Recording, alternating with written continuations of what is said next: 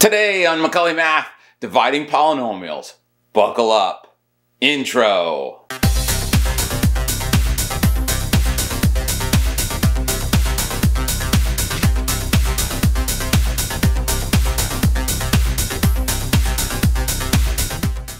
Okay, good day. I'm Professor McColley. This is Math 150 Pre-Calculus, Lesson 6 on dividing polynomials.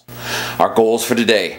We're going to use long division to divide polynomials by other polynomials. We're going to use synthetic division to divide polynomials by polynomials of the form x minus a.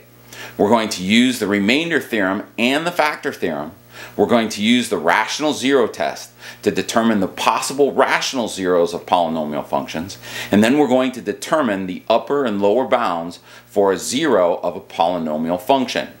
In the previous two lessons, the discussion focused on manipulating polynomials by adding, subtracting, multiplying, finding the composition, and the inverse of functions. The concept of division is usually considered to be a higher order function and therefore division needs its own section. This lesson discusses two methods of finding the quotient of two polynomials. First, through long division for all divisors, and second, through synthetic division for linear divisors. Additionally, because finding the factorization of polynomials can be cumbersome, the rational zero test and using upper and lower bounds will be discussed to make finding factors of polynomials a more approachable process. So we're going to start talking about polynomial division. And if you remember from the last lesson, we defined a polynomial this way, where we talk about a number of different terms that we don't know depending on what the degree is. And we're going to be dividing these by other polynomials. So for us to get there, what I want to do is I want to start with a third grade division demonstration. Now, I learned division in third grade, and I wasn't very good at it. Everybody struggles with division from time to time. But if we use this little third grade example, what we can do is we can extend that to polynomials, and hopefully we'll, what we'll do is we'll make it easier. What I want to do here, 3 divided into 16. And we will go through the old division algorithm. And what we'll do here is we'll say, okay, does 3 go into 1? And it doesn't, so we don't put anything above it. Does 3 go into 16? Well, 3 does go into 16 5 times. We will go 5 times 3 is 15. And then we will subtract that. And 16 minus 15 leaves me 1. And this we called the remainder. So this part here we called the remainder.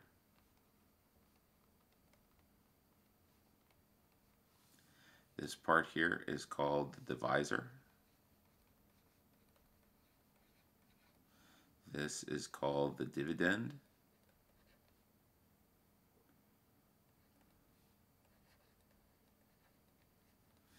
And this part here is called the quotient.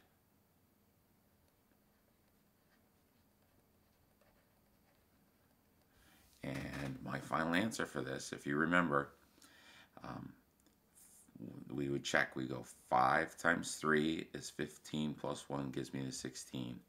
And we could say that our final answer is going to be 5 and 1 third. The remainder divided by the divisor.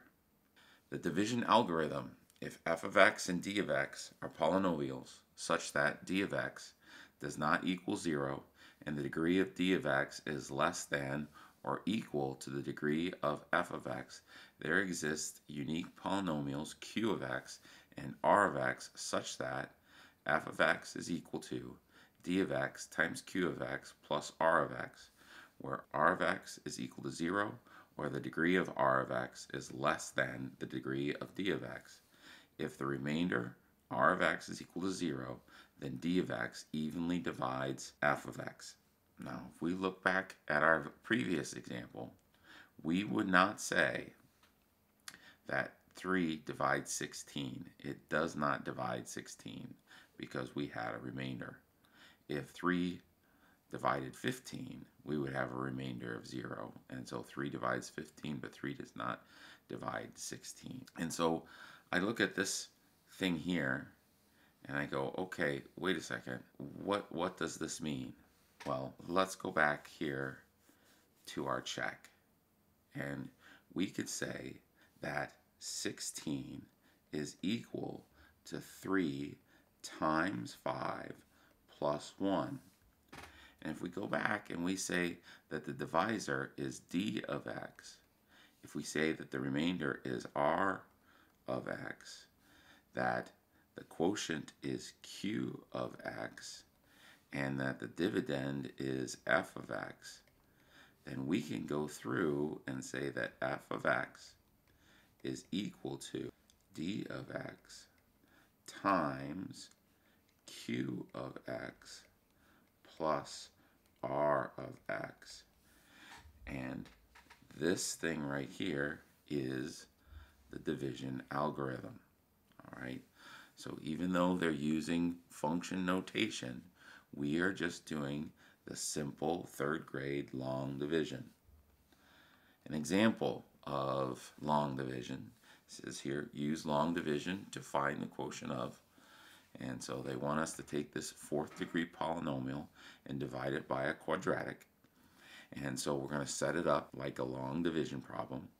And we will go x squared plus x minus 1 divided into x to the fourth minus 2x to the third plus 3x squared plus 2x minus 6. Now you'll notice I have every term here. I have x to the fourth, I have x to the third, I have x squared, I have x, and I have uh, just a 6, a constant. If I were missing one of these degree terms, what I want to make sure I'm going to do is I'm going to, I want to need to add a 0 and I'll have an example of that later. But when we do this division, it's a little bit different than long division from the example above. We only look at the first term in each polynomial. We don't care about the rest. We'll deal with that later. But we're trying to move from left to right. We're only going to work on the first terms and then we will keep moving over till we get to the end. So the first thing I want to do is I say, okay, what times x squared is x to the fourth? Well, x squared times x squared is x to the x squared times x squared is x to the fourth. And now I'm going to distribute. So x squared times x will be positive x to the third. And then x squared times negative 1 is negative x squared. And so I want to subtract away this entire thing. X to the fourth minus x to the fourth is 0, and that is why we focused only on the first two terms. Negative 2x to the third minus x to the third is negative 3x to the third, and then 3x squared minus negative x squared is like plus a positive, so this becomes plus 4x squared. Now we're going to bring the next term down, so I have plus 2x. And now I've completed my first row of the division. Then, just like in the last one, I only consider this leading coefficient right here. And I ask myself, what times x squared is negative 3x to the third? Well, negative 3x times x squared is negative 3x to the third. So now I distribute negative 3x times x squared is negative 3x to the third. Then negative 3x times x is negative 3 x squared. Then negative 3x times negative 1 is positive 3x. And again, we want to subtract away this whole thing. 3x to the third minus negative 3x to the third is 0. Those cancel, that's good. 4x squared minus negative 3x squared will be 7x squared. And then 2x minus 3x will be negative x. And so now I'm going to bring this last term down as a minus 6. And now I ask myself, what times x squared is 7x squared? Well, positive 7 times x squared is 7x squared. And so 7 times x squared is 7x squared. Then 7 times x is 7x. Then 7 times negative 1 is negative 7. I need to subtract all of that away. 7x squared minus 7x squared is 0. x minus 7x is negative 8x. And then negative 6 minus negative 7 is positive 1. And now, since the degree of what's left is less than the degree of the divisor, we are finished. And so our final answer for this is going to be the quotient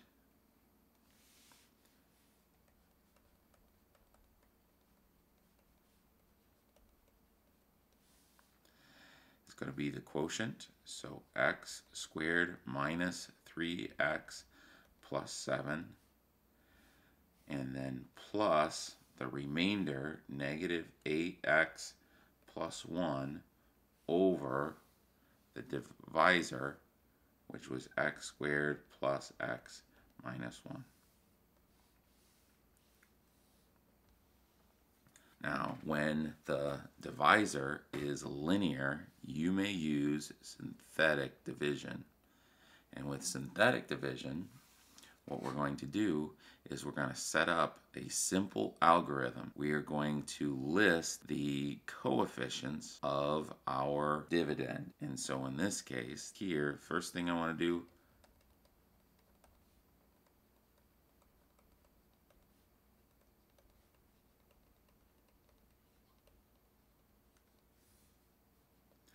We're going to list the coefficients of the dividend and we're going to add, and this is very important,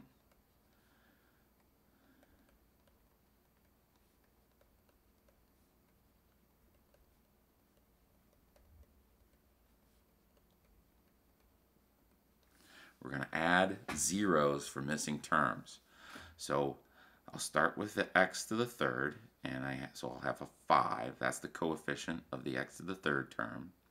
There is no x squared term, so that's where this add zeros for missing terms comes in. I'm going to have a 0 for the x squared, then I'll have a 6 for the x, and then I'll have an 8.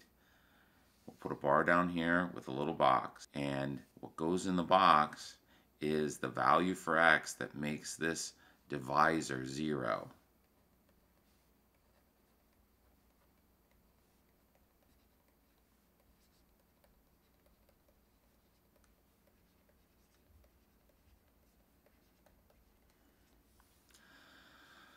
So to make the divisor equal to 0, what plus 2 is 0? Well, negative 2 plus 2 is 0.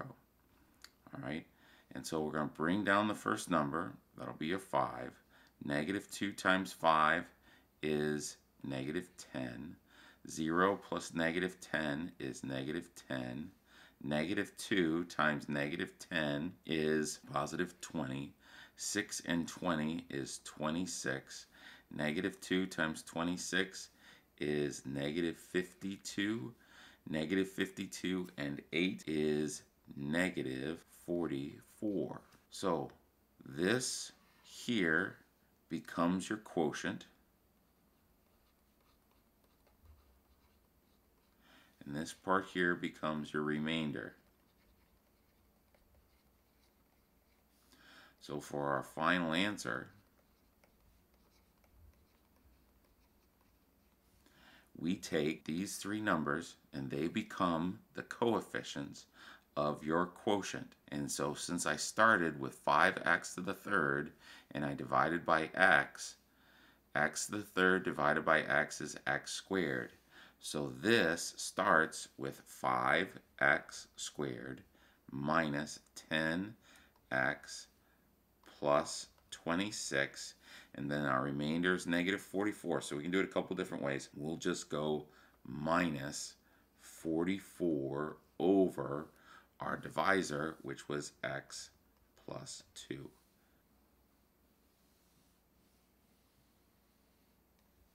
The remainder theorem. If a polynomial f of x is divided by a binomial x minus k, then the remainder r is r equals f of k. And so essentially what that says is that this negative 44 that we got in that division is the same value that we would get if I took negative 2 and plugged it into this expression here. So there are some consequences of that. If f of x is a polynomial and for some constant c, if you plug in that c and you get 0, then x minus c has to be a factor of x, which we can also say means that x minus c divides f of x for both of those things. The rational zero test. If a polynomial, and here's an example of a polynomial, has integer coefficients, remember your integers are your positive and negative counting numbers, 1, 2, 3, 4, negative 5, negative 6, negative 7, then every rational zero, a rational number is a fractional number, so anything that can be written as a fraction is a rational number has the form p divided by q. So rational 0, and again, fraction, where p divides a sub 0. So this p list is going to divide the constant, and q divides a sub n. a sub n is that leading coefficient. So all we're really looking at for these is this value here and this value there. I have an example. In this example, it says use the rational root test to determine the list of possible rational zeros of the polynomial. So the rational zero test says we look at the leading coefficient and the constant term to make a list of all of the possible fractional or rational zeros. We will start by looking at the 12 and I'll make a list of p and I'm making a list of all of the values that divide 12. Well, plus or minus 1 divides 12, plus or minus 2 divides 12, plus or minus 3 divides 12, plus or minus 4 divides 12, plus or minus 6 divides 12, and plus or minus 12 divides 12. That is the entire list of all of the numbers. And then we're going to look at what divides the 3. We'll call that the Q list. And that list is a little shorter. It's only plus or minus 1 and plus or minus 3. Those are the only values that divide 3. And so the list of possible rational zeros is just the list of all of the values p over q. So our list of p over q is going to be all of the values p over all of the values q. So if I go 1 divided by 1, that's just 1. 2 divided by 1 is just 2. 3 divided by 1 is 3. So this list is repeated again. So plus or minus 1, plus or minus 2, plus or minus 3, plus or minus 4, plus or minus 6, plus or minus 12. And now we've done all of those numbers over 1. We must also do all of these numbers over 3 as well. Plus or minus 1 divided by 3, plus or minus 2 divided by 3. Now we would go plus or minus 3 divided by 3, but that's 1 and we already have that.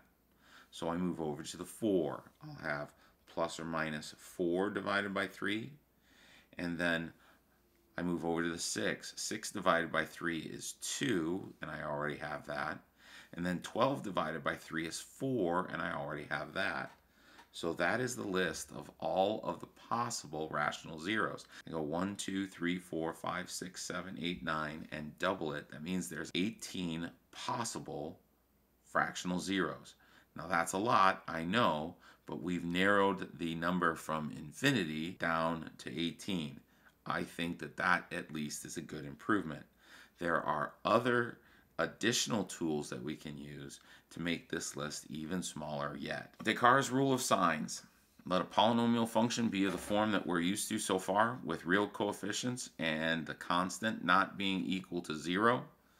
The number of positive real zeros of f is either equal to the number of variations of sign of f of x or less than that number by an even integer. The number of negative real zeros of f is either equal to the number of variations of sign of f of negative x, and you'll notice that's different. So for this negative real zeros, we're going to have to do a little bit more work, or less than that by an even integer. Let's talk about an example. So I'm given this function here. My constant is not equal to zero, and so it says use Descartes' rule of signs to determine the number of possible positive and negative real zeros. So when I look at this, I'm going to say that f of x is equal to negative 3x to the third plus 20x squared minus 36x plus 16. Now, in the definition, it says the number of possible positive real zeros is either equal to the number of variations of signs or less than that by an even integer. So first thing we need to do is count the number of sign changes. It starts with a negative and goes to a positive. That is one sign change.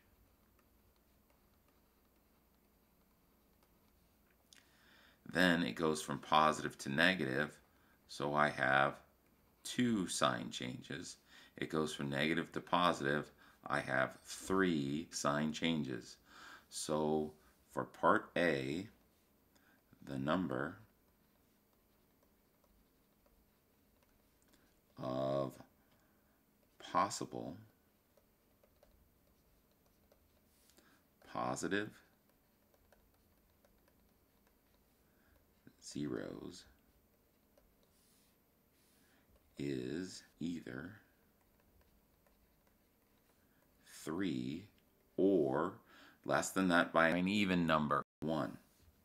All right, so the consequence of that, if, as a for instance, I found a longer polynomial that had 5 sign changes, well, then the possible number of positive real zeros would be 5, 3, or 1. If I found one that had 4 sign changes, it could have 4, 2, or 0. Now, to find the number of possible negative zeros, I have to plug in negative x.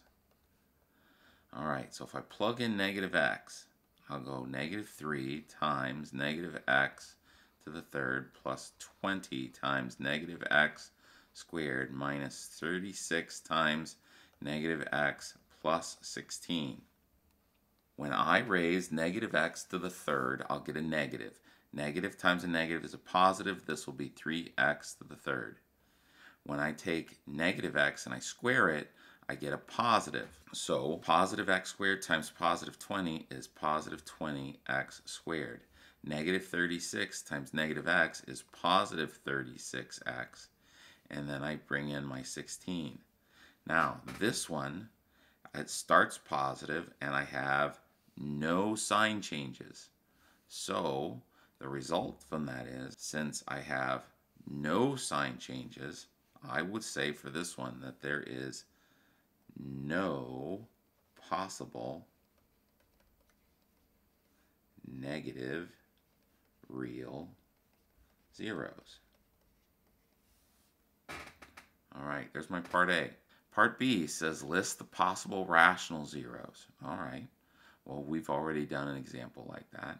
So for part B, I'll make my list of p-values and I look at this constant term. So all of the integers that divide 16 plus or minus 1, plus or minus 2, plus or minus 4, plus or minus 8, and then plus or minus 16. The values for Q are the values that divide negative 3. Well, just like in the last example that we did, we only have plus or minus 1, and then we have plus or minus 3.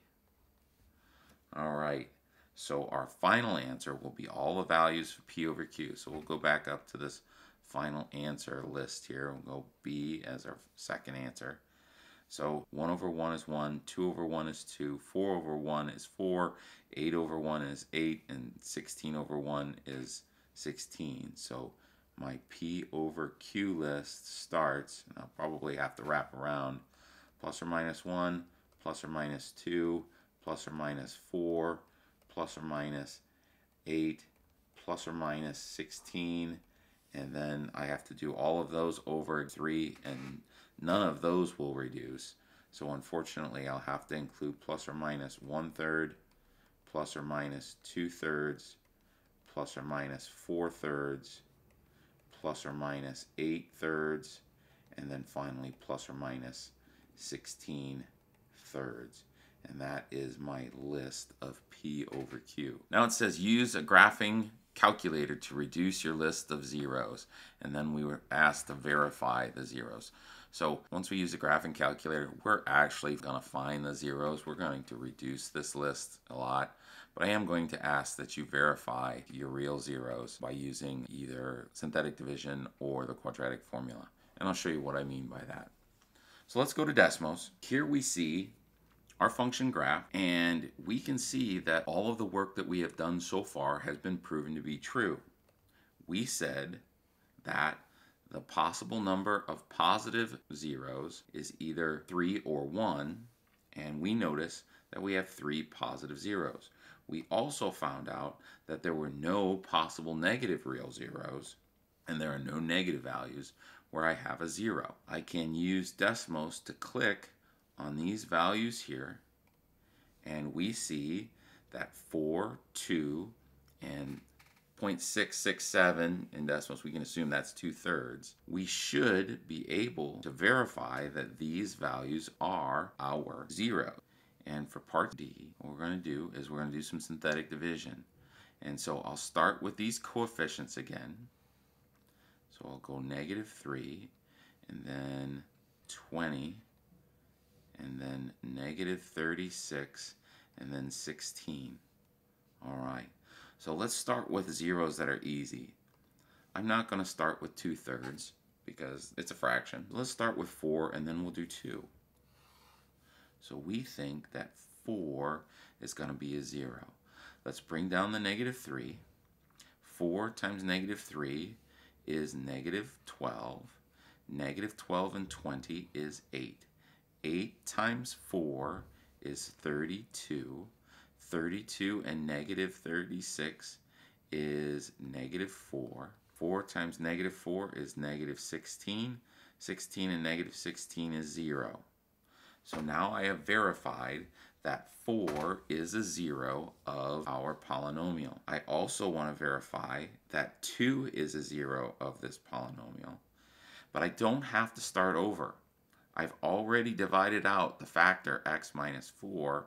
Let's just divide out the factor x minus 2 by putting a 2 there. Again, I bring down the 3, and then 2 times negative 3 is negative 6. 8 and negative 6 is 2. 2 times 2 is 4. Negative 4 and 4 is 0. Now, I started with negative 3x to the third. So this coefficient here is negative 3x to the third. I divide out x minus 4. That means this result will be negative 3x squared. I divide out x minus 2, meaning that this will be negative 3x to the first. So this result right here is negative 3x plus 2.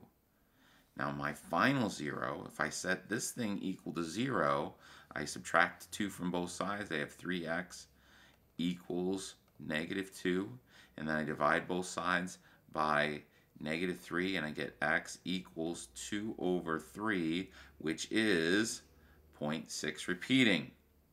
So my zeros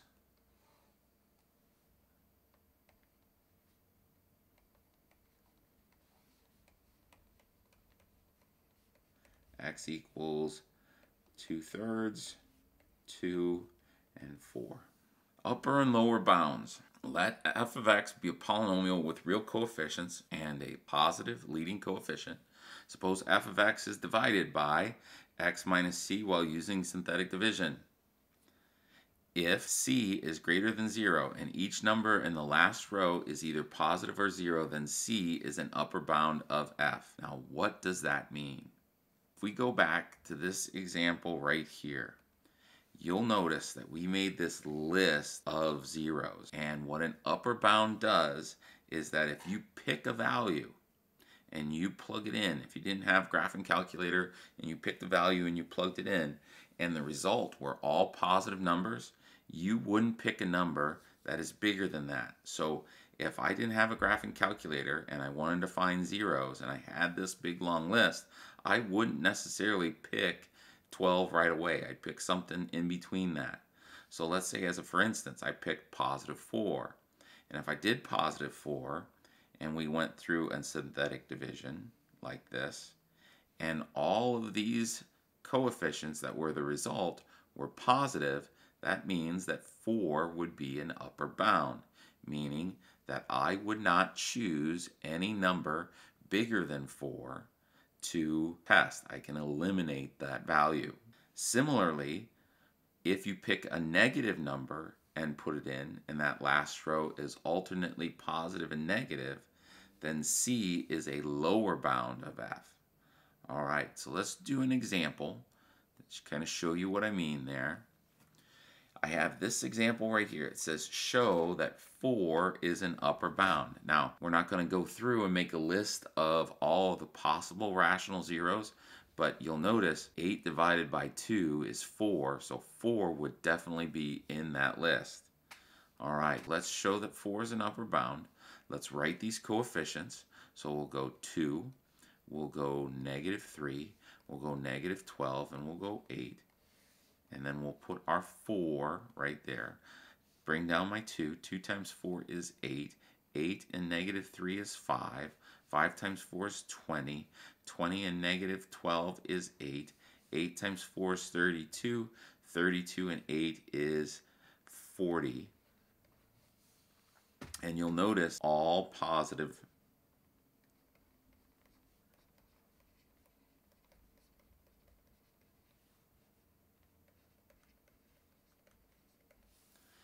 And since I have all positive coefficients, 4 is an upper bound.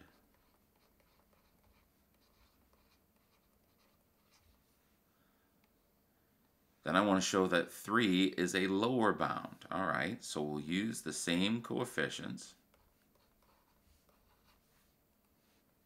And we'll put in our negative 3 there. I bring down the 2. 2 times negative 3 is negative 6.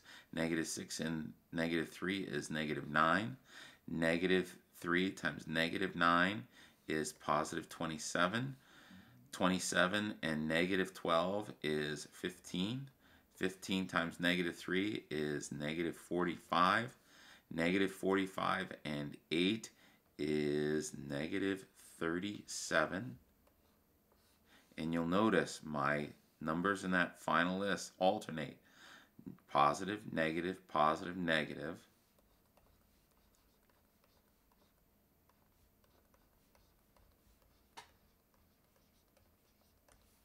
And since they're alternating positive and negative, negative 3 is a lower bound. Next example, it says given f of x is equal to x to the third plus 2x squared minus 5x minus 4 with k equaling to negative square root of 5. Let d of x be equal to x minus k, then first we want to write f of x equals d of x times q of x plus r of x form and then we want to use a graphing calculator to show that um, f of k is equal to our remainder. So we will do that. Now, negative square root of 5 is not going to be an easy value to use, but this is pre-calculus, so sometimes we get some hard ones. But we're still going to do the same process, and we may have to do some work off to the side, but that's okay. Now, I know that when I plug in negative square root of 5, some of the results are going to be a little funky and they, we may have to do a little work on the side. So what I want to do is I want to make this a little bit bigger than the ones that I've done in the past so that I have space to deal with this thing. So um, writing those coefficients, and again, there's no number here, so we assume there to be a 1 for the x to the third, and then a 2 for the x squared, and then a negative 5 for the x, and negative 4. We'll put a bar here, and we're going to put that negative square root of 5 right there. Just like the rest of them, I bring down the 1. Negative square root of 5 times 1 is negative square root of 5. Now these two things are not like terms, so I have to, we're just adding them. So I get 2 minus square root of negative 5. So now when I multiply this negative square root of 5 times this thing, I have to distribute. We will do that. Negative square root of 5 times 2 is negative 2 square root of 5. Negative square root of 5 times negative square root of 5 is positive 5. And so negative 5 plus 5 is 0, leaving me with negative 2 square root of 5. Now, negative 5 times negative 2 square root of 5 will be a positive because negative times a negative is positive. Square root of 5 times square root of 5 we already know is 5 times 2 will give me a 10 and so negative 4 plus 10 is 6. Alright, remember this part right here is your quotient. We are dividing and so this part is my divisor will be x plus square root of 5. And again, because we always change the sign of what goes in the box, this is my divisor. And this is my remainder. So let's answer the question. So they want us to write f of x in d of x times q of x plus r of x form. All right, so what we'll do is we'll say f of x and we'll just say that that's that thing, is now equal to d of x, okay? The divisor is d of x, so x plus square root of 5. The quotient is this thing, so I started with x to the third and I divided by x, so this will start with 1x squared, and then it will be plus, this is the coefficient, so I'll make it 2 minus square root of 5 times x. And then this is the constant, so it's just minus 2 square root of 5. And then that's my remainder, so plus 6. And I have, this is my d of x, this is my q of x, and this is my r of x. And so that is my part A. And then part B says Use a graphing calculator to show that f of k is equal to r, all right? So basically what they're saying is if I plug k into f of x, I should get the remainder 6. So let's do that. Let's go to Desmos. And so here we have our function. And so what I want to do is I want to plug in k equals to negative square root of 5. Okay, we can do that. So I'm just going to go f of negative square root of 5. We'll close that parenthesis and we see that that result is 6, which is what we got. And so we have verified part B. Next example. Given x to the third minus 31x plus 30 is equal to 0 and x equals negative 6, use synthetic division to show that the given value for x is a 0 and then use that result to find the remaining zeros. All right, in this case, I start with an x to the third. All right, so what I'm going to use, this x equals negative 6 as my divisor. We'll make a list of the coefficients. Since there's no value in front of the x to the third, we know that we have a 1. There is no x squared, so I have to place a placeholder. And again, that is so very important. That's where all of my students in the past make their biggest mistake is they forget to add zeros. Minus 31 for the x and then plus 30. And so we'll plug in this negative 6. I bring down the 1. 1 times negative 6 is negative 6. 0 and negative 6 is negative 6. Negative 6 times negative 6 is positive 36. 36 and negative 31 is 5. Negative 6 times 5 is negative 30. So we have a 0 here. And that's what we wanted to do. We have used synthetic division to show that the given value for x is a 0. We have shown that when we plug in x equals negative 6, we get 0 out.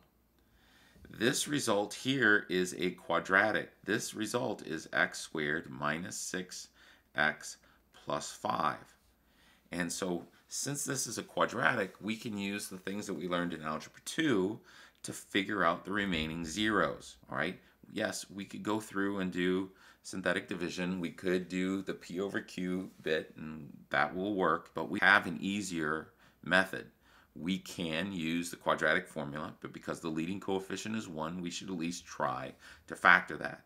So I am asking myself, what are two factors of 5 that add up to negative 6? Can I do that? And the answer is yes, we can do that. Negative 5 plus negative 1 is negative 6, and then negative 5 times negative 1 is positive 5. So my factors here are x minus 5 and x minus 1 and since the question asks, find the remaining zeros, the remaining zeros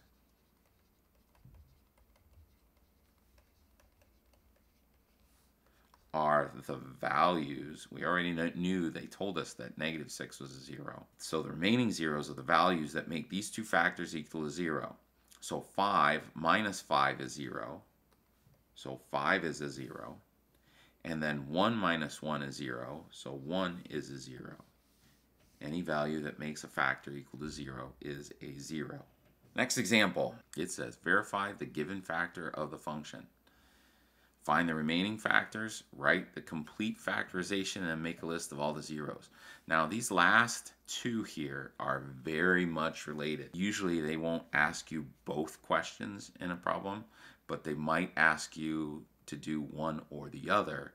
And so you have to be able to do both. Verify the given factor of the function. We'll do that. We will use synthetic division. These coefficients are all listed and there are none missing. So I have 3, I have 2, I have negative 19, and I have 6. And I want to verify that this is a factor. So what makes x plus 3 equal to 0? Negative 3 makes x plus 3 equal to 0. I bring down the 3. 3 times negative 3 is negative 9. Negative 9 and 2 is negative 7. Negative 7 times negative 3 is positive 21. 21 and negative 19 is 2. 2 times negative 3 is negative 6, and I get 0. All right, and so here I want to find my remaining factors. And since we divided x plus 3 into a 3x to the third, the result here will start x squared. So I have 3x squared minus 7x and then plus 2. Now, we could try and factor this, and I think it's factorable, but because I have this leading coefficient being 3 and not 1, just to review, I'm going to use the quadratic formula on this. And if you recall, the quadratic formula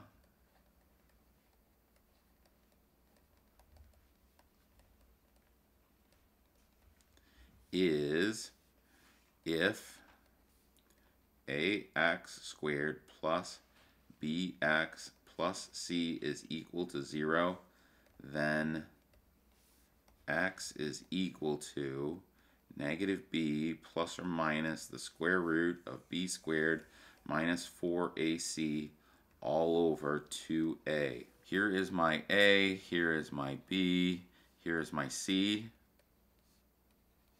So we will just plug in and we will say that x is equal to 7 plus or minus the square root of negative 7 squared minus 4 times 3 times 2 all over 2 times 3. And we'll simplify what's underneath the radical. So I have my 7 plus or minus. Uh, 7 squared, even though it's negative, is 49. And then 4 times 3 is 12. 12 times 2 is uh, 24. And so 49 minus 24 is going to be 25 all over 6, and that's good. That makes our lives easier because the square root of 25, 25 is a perfect square. I have 7 plus or minus 5 all over 6. So we, since these are all like terms, we do need to reduce that, reduce this expression, and we have to do both the plus and the minus. So 7 plus 5 is 12, divided by 6 is 2, and then 7 minus 5 is 2, divided by 6 will be 1 third. All right. So let's go back up and check. It says verify the given factor. So we did that. There's my part A. Find the remaining factors. So these things here are the zeros. And so, so for part B, our final answer, we want to make factors out of them. So the first one's easy. It's just x minus 2. Now, because this is a fraction, what we'll want to do, and our leading coefficient here was 3, what we'll want to do is we will put the 3 as a coefficient of the x, and then we'll do minus 1 there. And then if I plug in 1 third, 1 third times 3 is 1, 1 minus 1 is 0. That is correct. So there are my remaining factors. And then in part C, it says write the complete factorization. Well, the complete factorization will be these two factors that we found, x minus 2 and then 3x minus 1, and then the first factor that we were given, which was x plus 3, so we'll put that there.